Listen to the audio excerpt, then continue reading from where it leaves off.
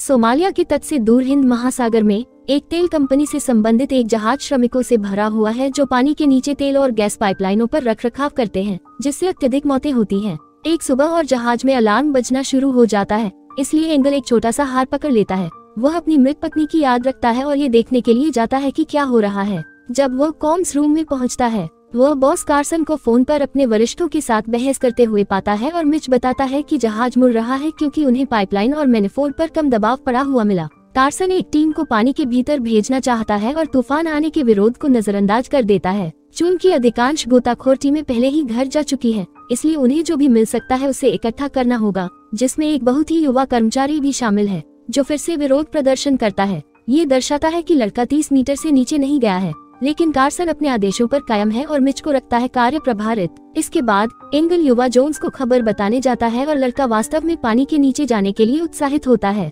Mitch Hurston की तलाश में जाता है और यह जानकर परेशान हो जाता है कि वह कितना पी रहा है। पहले बताता है कि उसकी शिफ्ट खत्म हो गई है। लेकिन जब मिच ने दोगुना वेतन देने की पेशकश की तो उसने जाना स्वीकार कर लिया। फिर टीम तैयार हो जाती है और जोन्स अपनी गर्भवती पत्नी को फ़ोन करके बताता है कि वह एक दिन देर से आएगा। लेकिन दुर्भाग्य से मिच को घर पर कोई नहीं मिला। क्षण भर बाद, टीम अंततः डाइविंग बेल में प्रवेश करती है और समुद्र के कोन में उतरना शुरू कर देती है। नोटिस करती है कि जोन्स हेयर जेल का एक जार लाया है और उसे इसे खोलने के लिए कहता है जो कि पूरे जोन्स पर फैल जाता है। दबाव परिवर्तन के कारण जोन्स बंद हो जाता है। वे उतने ही गहरे चले जाते हैं। शव को शराब छूटने का एहसास होने लगता है और सीट बेल्ट लगाते समय ही उसके हाथ कांपने लगते हैं। जब टीम आखिरकार नीचे तक पहुँच जाती है जॉन घंटी पर खड़ा रहता है जबकि बाकी तीन पाइप ठीक करने के लिए बाहर जाते हैं। तीनों आदमी मरम्मत करने में कड़ी मेहनत करते हैं, लेकिन इसमें थोड़ा समय लगेगा। जोन्स एक खूबसूरत प्राणी को तैरते हुए और अपनी पत्नी की तस्वीर को घूरते हुए अपना मनोरंजन करने की कोशिश करता है।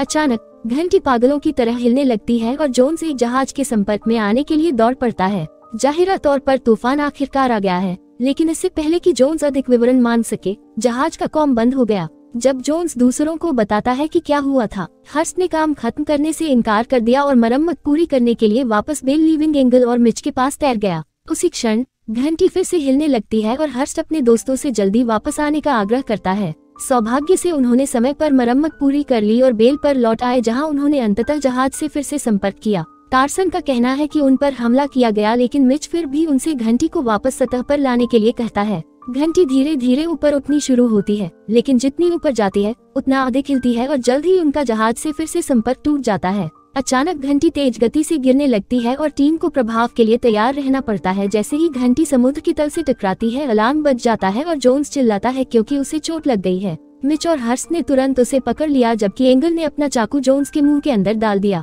ये पता चला है कि फिलिंग के नीचे उसके दांत की कैविटी में दबाव फंस गया था, लेकिन चाकू के प्रहार से वह तुरंत ठीक हो जाता है। जबकि जोन्स को ठीक होने में कुछ समय लगता है और सिस्टम स्थिर हो जाता है। मिच ने जहाज़ से दोबारा संपर्क करने की कोशिश की, लेकिन कोई फ़ायदा नहीं हुआ। एंगल ने नुकसान की जाँच करने के लिए बाहर जाने का फैसला किया। पता चला कि क्षति केवल कुछ खरोचों की है और बीकन अभी भी काम कर रहा है। शव वाहन ने सूची की जाँच की और कंबल और प्राथमिक चिकित्सा पाए, लेकिन कोई जीवित रहने वाला सूट नहीं मिला। मिच बताते हैं कि बैकअप हीटिंग काम कर रही है तो उम्मीद है कि यह पर्याप्त होगा। इसके बाद, हंगुल जहाज़ के संतुलन को जोड़ने वाली गर्भनाल केबलों की जाँच करने के लिए तैरना जारी रखता है। वह उस रास्ते का अनुसरण करता है जब तक कि उसे एक परेशान करने वाला दृश्य नहीं मिल जाता। तूफ़ान से जहाज़ नष्ट हो गया है और वह डूबते हिस्सों को देख रहा है। मामले को बदतर बनाने के लिए, एंगल कार्सन एंगल सहित चालक दल के सभी शवों को ढूंढता है और बेल पर लौटता है और यह साबित करने के लिए जहाज़ का एक टुकड़ा गिराता है कि यह डूब गया है। पहले तो मिच ने इस पर विश्वास करने से इनकार कर दिया और जोन से कॉलम को फिर से आजमाने के लिए कहा। लेकिन एंकल शवों का ज़िक्र करता है और उसे सच्चाई दिखाने के लिए चिल्लाता है। वे सीमित ऑक्सीजन के साथ यहाँ फंसे हुए हैं, इसलिए उनके पास ज़्यादा समय नहीं बचा है। एक पल की चुप्पी के बाद खबर को अंदर आने दिया जाता है। एक बहस शुरू होती है, जिसे और भी बदतर बना दिया जाता है। एक कौन बताता है कि कंपनी लॉकडाउन में है और कोई भी पहले नहीं आएगा और लड़ाई में घूसा जोड़ने के लिए एक दूसरे को पकड़ने के लिए तैयार है। लेकिन मिच ने तुरंत उन्हें अलग कर दिया और ऑक्सीजन बचाने के लिए सभी को शांत होने के लिए कहा। तब मिच को याद आया कि जब वे इसे ठीक करने के लिए नीचे आए थे तब से उनके पास पाइप का कई गुना स्थान है। इसलिए वह इसे लिखता है और इसे जोन्स को देता है ताकि वह इसे हर पंद्रह मिनट में कॉम के माध्यम से प्रसारित कर सके। उम्मीद करता है कि किसी भी गुजरने वाले जहाज़ को संदेश मिल जाएगा। वह सोचता है कि उन्हें झुरमुट को अलग कर देना चाहिए। घंटी को फिर से तैरने की प्रतीक्षा करनी चाहिए ताकि उन्हें देखा जा सके, लेकिन मिच नहीं करता है। उसे यह बताने न दे कि दबाव अंदर और बाहर बराबर है, इसलिए यदि वे उठते हैं तो यह उन्हें मार सकता है। उसी समय ऑक्सीजन टैंकों में से एक ढीला हो जाता है और घंटी की हवा खत्म होने लगती है, इसलिए अलार्म फिर से बच जाता है। टीम विशेष रूप से जोन्स के लिए कुछ मास्क लाने के लिए दौड़ती है, जो इसका आदि नहीं है और पहले से ही चक्कर महसूस कर रहा है। एंगल भी अपनी उम्र के कारण नीचे चला जाता है और दूसरा मास्क लेता है, जबकि मिच घंटी को स्थिर करता है और देखता है कि उन्होंने दो घंटे की सांस लेने वाली गैस खो दी है। एक और तर्क सामने आता है कि हर्स्ट एक नए टैंक के लिए जहाज़ के मलबे की तलाश में जाना चाहता है और एंगल घंटी को तैराने पर ज़ोर देता है। लेकिन मिच का कहना है कि यह बहुत जोखिम भरा है और उन्हें बस इंतज़ार करना चाहिए। जोन्स संचार का प्रयास करना जारी रखता है और अचानक उन्हें एक चीनी मछली पकड़ने वाले जहाज़ से उत्तर मिलता है। दुर्भाग्य से, क्योंकि घंटी में कोई चीनी नागरिक नहीं है, उन्होंने मदद की पेशकश करने से इनकार कर दिया और फ़ोन रख दिया। बाद में हर्स्ट और मिच एक और ऑक्सीजन टैंक होने से पहले घंटी की क्षति की दोबारा जाँच करने के लिए तैयार हो गए। एंगल उन्हें जाते हुए देखता है और उस दिन के बारे में सोचने लगता है जब वह अपनी अब मृत पत्नी के साथ यात्रा पर निकला था और जोन्स को लगता है कि उसके एंगल को बचाए जाने की कोई उम्मीद नहीं है। इस बीच हर्स्ट और मिच ये सुनिश्चित करते हैं कि सिलेंडर और वाल्व अच्छी तरह से समायोजित हो, लेकिन उन्होंने ये भी पाया कि घंटी के शीर्ष पर एक क्रेन ब्लॉक है, जबकि वे वाल्वों को अतिरिक्त सुरक्षित बनाने पर काम करते हैं। क्रेन ब्लॉक गिर जाता है और मिच से टकरा जाता है, जिससे वह पहले घबरा जाता है और उसकी मदद करने के लिए दौड़ता है। तभी पता चलता है कि मिच की नाभि फंस गई है। वह उसे अलग करने की कोशिश करता है, लेकिन उसके हाथ मिलाने में परेशानी हो रही है, इसलिए एंगल बिना किसी सूट के पानी में कूद जाता है। कोनों का अनुभव उसे मिच को उसकी नाभि से तुरंत अलग करने की अनुमति देता है और शव वाहन के साथ मिलकर वे उसे वापस घंटी में खींच लेते हैं। जैसे ही वे अंदर बनाते हैं, उन्होंने मिच का हेलमेट हटा दिया और गहरी सांस लेते हुए वह तुरंत जाग गया। फिर वह हर्ष को डांटते हुए कहता है कि उसके गोताखोरी के दिन खत्म हो गए हैं क्योंकि उसके हाथ अब बेकार हो गए हैं क्योंकि वह एक आदि है। पहले माफ़ी माँगता है, लेकिन वह ये भी बताता है कि तंत्र टूट गया था और वह केवल 18 साल तक गोताखोर रहने के कारण हुए अलगाव के कारण शराब पीता है। कुछ घंटे बीत गए और घंटी का वायु कोण आधा खो गया और उन्होंने ज़ोर देकर कहा कि उन्हें कुछ करना चाहिए, लेकिन मिच जिद्दी है और फिर भी उन्हें इंतज़ार करने का आदेश देता है। क्षणों बाद एंगल और जोन्स सो रहे हैं जबकि मिच खुद को प्रार्थना में लगा देता है। जब वह रेडियो स्टेटिक सुनता है तो वह सो जाने ही वाला होता है, लेकिन जब वह जाँच करने के लिए दौड़ता है तो उसे दुख होता है कि यह एक झूठा अलार्म है। फिर वह हर्ष को देखने जाता है और पाता है कि वह गायब है। मिच दूसरों को जगाता है और रेडियो का उपयोग करके हर्ष को बुलाता है, जो घोषणा करता है कि वह चीज़ों को ठीक करने जा रहा है। पता चला कि हर्ष ने एक सूट पहन रखा है और वह अतिरिक्त ऑक्सीजन टैंक खोजने की कोशिश करने के लिए जहाज़ की नाभि का पीछा कर रहा है।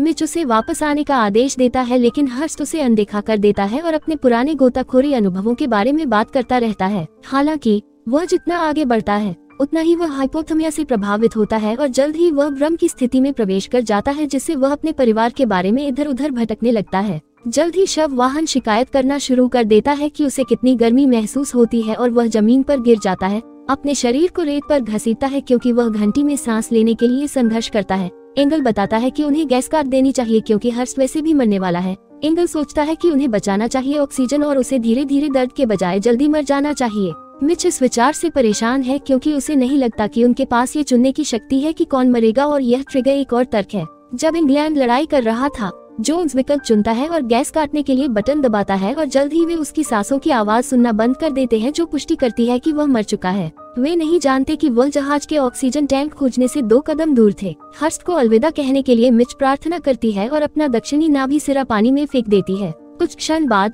जोन्स ने फैसला किया कि चूँकि उसे काम पर गोता लगाने का मौका नहीं मिला, इसलिए वह अब तैराकी करेगा। वह पानी में कूद जाता है और अपनी पत्नी को देखकर आश्चर्यचकित हो जाता है। वे बिना कपड़ों के बेहद खूबसूरत लग रही हैं। वे दोनों फिर से मिल जाते हैं और चुंबन करना शुरू कर देते हैं। लेकिन जब मामला गर्म होने लगता है तो उनके मुँह से खून निकलने लगता है। जोन्स घबरा जाता है और फिर से तैरने की कोशिश करता है, लेकिन उसकी पत्नी उसे मजबूती से पकड़कर रखती है क्योंकि खून निकलता रहता है। अचानक, जोन्स ने अपनी आँखें खोली और महसूस किया कि यह सब एक बुरा सपना था।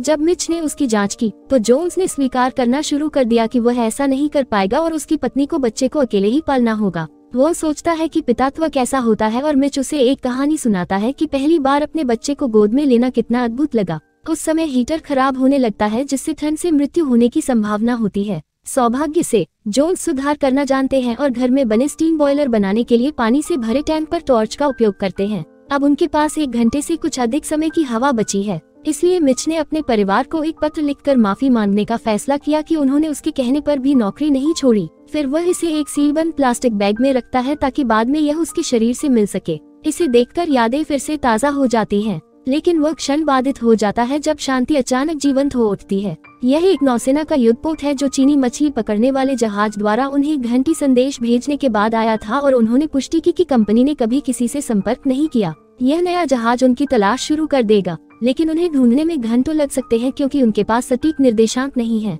चूँकि ऐसा लगता है कि वे अभी भी मर जाएँगे, कौन एक विचार प्रदान करता है कि पाइपलाइनों पर ड्राइवोल का अतिरिक्त सिलेंडर ले जाते हैं, इसलिए यदि वे गैस को अपने शेष हीलियम के साथ मिलाते हैं तो वे पर्याप्त समय खरीद सकते हैं। मिच झिझक रहा है क्योंकि वे मीलों तक बह चुके हैं और यह जानने का कोई तरीका नहीं है कि वह कहाँ है, लेकिन एंगल बताता है कि उनके पास ज़्यादा विकल्प नहीं है। वैसे भी मिच योजना को मंजूरी देता है, और एंगल सूट की तलाश शुरू करनी होगी। एक बार जब उसे एक पाइप मिल जाता है और वह जोन्स को कॉलम के ऊपर की संख्या बताता है तो जोन्स मानचित्र को देखता है और उसे निकटतम संभावित कुएँ की कक्ष में ले जाता है। आगे चलने से गैस का अधिकतम उपयोग होता है और गर्मी खत्म हो जाती है। मिच उसे वापस आने के लिए कहने की कोशिश करता है, लेकिन एंगल मना कर देता है, क्योंकि वे वैसे भी मरने वाले हैं। जोन्स उन्हें कॉलम के माध्यम से दिशा निर्देश देना जारी रखता है। एंगल को बहुत सारे शव मिलते हैं, लेकिन अंत में उसे वेल चैम्बर भी मिल जाता है।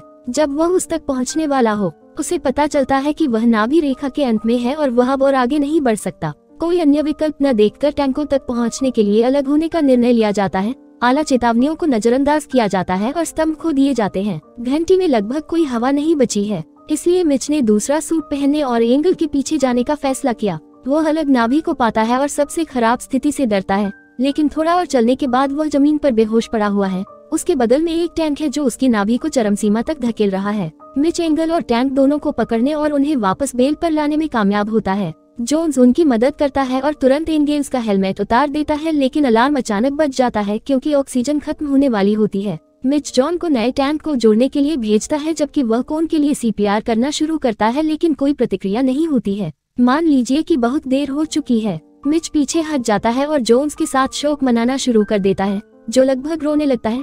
इससे पहले कि वह कौन सी थोड़ी सी हलचल देखता, जैसे ही नया टैंक घंटी में ऑक्सीजन भेजना शुरू करता है। फ्लैशबैक दो कौन दिमाग में वापस आते हैं और उसके दोस्तों ने उसे एक मुखौटा देने के लिए तैयार किया और अंत में उसे वापस होश में लाओ। अब उनके पास दो घंटे की हवा बची है। जब नौसेना का युद्ध पोत उनसे दोबारा संपर्क करता है तो वे उन्हें सूचित करते हैं कि वे एक डेढ़ घंटे में उनके निर्देशांक के क्षेत्र में आ जाएँगे, लेकिन उन्हें अभी भी सटीक स्थिति का पता लगाने की आवश्यकता है क्योंकि तेल कंपनी बंद होने के बाद से उनके पास नक्शे नहीं है। सभी संचार, मिच बताते हैं कि उन्हें बीकन से सिग्नल ढूंढना चाहिए, लेकिन जहाज़ बताता है कि सोनार इसे नहीं उठा रहा है, शायद इसलिए क्योंकि जहाज़ का मलबा हर जगह बिखरा हुआ है। नेवी फ्रिगेट ने लटकने से पहले उनकी खोज में तेज़ी लाने का वादा किया है और जोन का कहना है कि उन्हें बीकन को तैराना चाहिए ताकि यह सोनार पर दिखाई दे कि यह जोखिम भरा है, लेकिन अगर वे कोशिश नहीं करते हैं तो बीकन गहरे पानी की धाराओं में फंस जाएगा। मिट स्वेच्छा से जाता है और जब वह तैयार हो रहा होता है तो उसे अपना पत्र मिल जाता है ताकि अगर उसे कुछ हो जाए तो वह इसे अपने परिवार को दे सके। वह अपनी नौकरी छोड़ने के बारे में अपने परिवार के साथ हुई चर्चा को भी साझा करता है और बदले में बताता है कि उसने अपनी पत्नी को एक कार दुर्घटना में खो दिया था।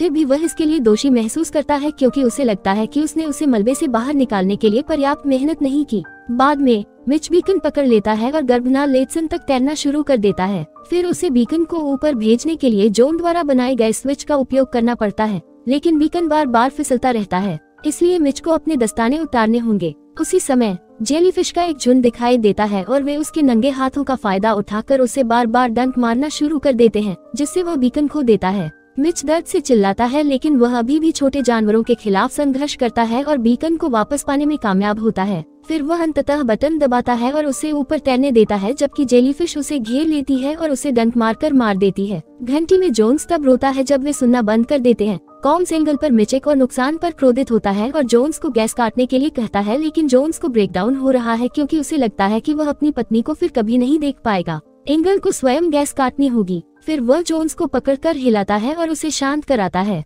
लेकिन, जब वह उसे फर्श पर फेंकता है तो उसे एहसास होता है कि वह भी इसे खो रहा है और लड़के को मिच के पास जाने देता है। उसका शरीर समुद्र के तल में डूब जाता है। बाद में, जोन्स एक चाकू निकालता है और दम घुटने से मौत की व्याख्या करता है। बहुत धीमा है। यदि बचावकर्ता समय पर नहीं आते हैं तो एंगल को चीज़ों को जल्दी खत्म करने के लिए उन्हें मार देना चाहिए क्योंकि जोन्स को नहीं लगता कि वह इसे स्वयं कर सकता है। इससे पहले कि चाचा जवाब दे पाते, नेवी फ्रिगेट से एक और संदेश आता है। उन्हें बीकन मिल गया, लेकिन गोताखोरों को वहाँ पहुँचने में एक घंटा लगेगा। कोई अन्य विकल्प न देखकर उन्होंने उनसे कहा कि वह घंटी को ऊपर चढ़ा देंगे। इससे पहले कि वे दोनों घंटी काट दे, जो काफ़ी तेज़ी से ऊपर जाने लगती है। हालाँकि, यह अचानक रुक जाता है जब नाभी जहाज़ के मलबे के कोण में फंस जाती है। जिससे पता चलता है कि उन्हें ऊपर तैरना होगा, लेकिन ये कठिन होने वाला है क्योंकि उन्हें 170 फीट ऊपर जाना होगा और जोन्स ने कभी भी तीस से अधिक नहीं किया है। एक सूट बाकी है। जोन्स चीज़ों को खत्म करने के लिए तैयार अपना चाकू पकड़ लेता है, लेकिन एंगल घोषणा करता है कि जॉन सूट के साथ ऊपर जाएगा,